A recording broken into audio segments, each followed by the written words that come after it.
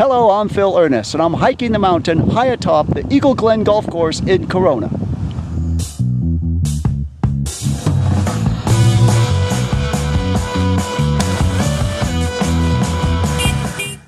On today's hike, I'll be hiking past an active beehive, as well as enjoying a beautiful view of the city below.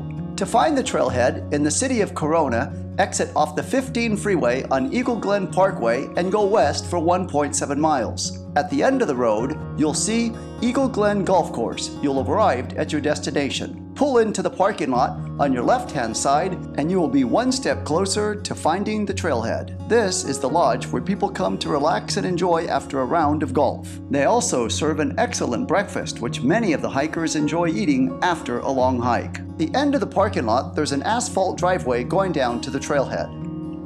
Notice that mountain high atop there where the golfers are playing? That's where I will be heading for this hike.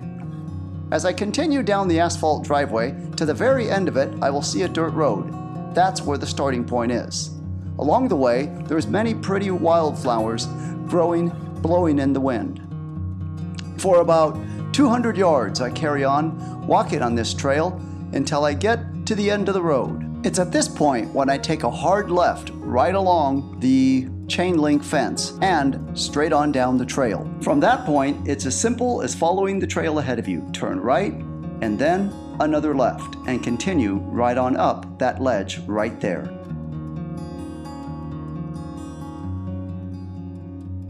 Right now it's springtime in Southern California and that can only mean one thing. The California native wildflowers are in full bloom and there are an assortment of them along this trail.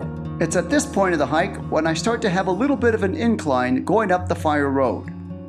A point I didn't mention is that this hike is an up and back, which means you're coming up the same trail that you're going back on. As I come to the end of this part, uh, right there at the gate, I will take a hard right and continue on up the trail.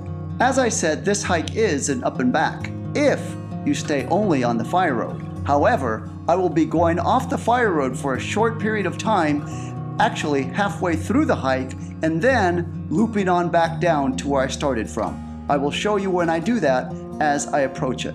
Now that that initial incline is done, there's a bit of a break for about the next 500 yards, it's pretty level, walking towards the mountain. If you like this type of content and would like to see more of it, please don't hesitate to hit the subscribe button. At this point, continue going straight on up to that trail as it inclines. This is a bit of an incline, so if you have your hiking poles, you may want to use them here. Especially since the gravel tends to give a little bit more here and people have been prone to slip, particularly when they're coming down. But for right now, it's onward and upward as we head on straight on up the mountain. After getting past the little incline, be sure to turn right and continue straight on up the fire road. And now for the sad reality. At one point, this was a green fairway, active golf course with many golfers on it. Now it's sadly been reduced to a pond full of algae and mosquitoes. I can hardly imagine how these people felt buying their real estate close to a golf course only to find out it would go abandoned a few years after they bought their property.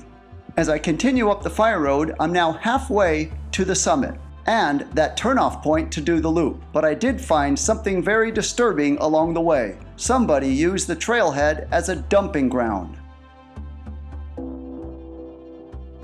At this part of the hike, there is a turnoff to the left. Continue going straight on up the right-hand side of the trail. At this point of the hike, I'm now halfway to the turnaround area. Notice the skinny hiking trail going right up the side of this hill. Some hikers like to take this as a shortcut to the turnaround area. I recommend not doing it, and I will show you why. Notice right in the middle of the trail, the bush is blocking the path from going to the top. The only other option is to go around it and run the risk of falling off of that ledge like I did witness a lady do one time, or just saying, forget it, I'm gonna continue hiking straight on up the fire road as I'm doing here, and there's another cutoff point that you can do probably about another 200 yards up the fire road. So that's what I'm gonna do today, take it on the safe side. There were some motorbikes on this trail, something I had not seen in the past. And after about 10 minutes more of hiking on the fire road, I finally approached the cutoff point. This is where the loop begins. Notice the white gate there. That's where you want to go off of that fire road onto this little hiking trail if you want to do the shortcut, as they call it. It's a lot more manageable and easier to climb than that other one that I was showing you about 100 yards down the uh, fire road. Another advantage of taking the smaller trail rather than going on the fire road is you don't have to deal with the motor vehicles, the motorbikes and the trucks that go up and down that fire road right there down below. So it's safe to say this trail is a lot more hiker friendly because you're not having to deal with the extracurricular things that go on on the fire road. In addition, you get some nice views of the city below as you begin to incline up the hill. And now for an up close look at the golf course down below. Take a look at the trail to the right and the trail to the left. The one to the right is that steeper, dangerous part. The one to the left is the trail I just came up on. Now that both of the trails has intersected into one, whichever trail you take, you'll be both on the same trail going to the turnaround area. One of the remarkable things that I found about this trail is that it is in really good shape considering it was closed for a couple of months due to the pandemic. The wildflowers are in full bloom and the trail is not as overgrown as I thought it would have been.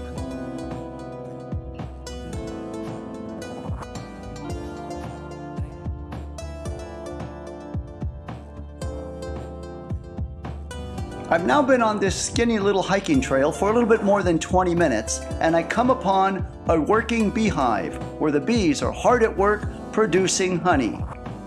I am careful not to annoy or pester or bother the bees as I quickly make my way past the beehive and staying on the trail. And after passing the beehives, I'm now only about 150 yards from the fire road and the turnaround point. As I've reached it, I turn right there. Looking back, that's the trail I was just on and the beehives in the background. Once I hit the fire road, I turn right, and from this point, it's all downhill, enjoying the scenery along the way. As you start to make your way back along the fire road, it's easy to be distracted by the view. Up ahead is Mount Baldy. Proceed with caution around this corner for there are little pebbles and rocks along the way where you will lose your footing and take a tumble if you are not paying attention, so please proceed with caution, keeping your eyes on the trail. This is the San Gabriel Mountains. Last week I did a hike on this mountain called the Barrett Stoddard Trail. If you're interested in seeing that video, click on the link so you can watch it and learn that trail as well. And looking at this mountain, just a few short miles away, is the Skyline Trail, where you can hike to the Doppler ball. You are now looking at the city of Corona high atop the mountain. As my hike starts to wind on down, take a look at the trail that I will be hiking from a distance. Notice where the two slopes come together? That's where I started going up the mountain off the fire road. And from a distance, I can hear the roaring engines of the motorbikes making their way up the fire road. So this officially concludes the loop part of this hike. From here on out, all of the rest of this hike that I will be doing is what I covered going on up the trail. If you've made it this far into the video, you now have seen all of the twists and turns that this trail has to offer. If you would like to do this hike, but you don't want to hike it alone, you are more than welcome to come and hike with a hiking group that does this hike on the last Sunday of every month. They are a group of friendly people. Anywhere from 10 to 30 of them meet on a Sunday at 7 a.m. It takes them one hour to get from the parking lot of the golf course to the turnaround area, and then they rest for a little bit and they're back down at the golf course around 9 a.m. Afterwards, they go to the lodge at the golf course and enjoy breakfast together. Hiking leader Dave has come up with a good idea that he calls the breakfast lottery. What that is, is everybody pitches $1 in when you place your order. If you are the last person to have your food brought to you, then you win all of the money that is in the pot, thus making you the breakfast lottery winner.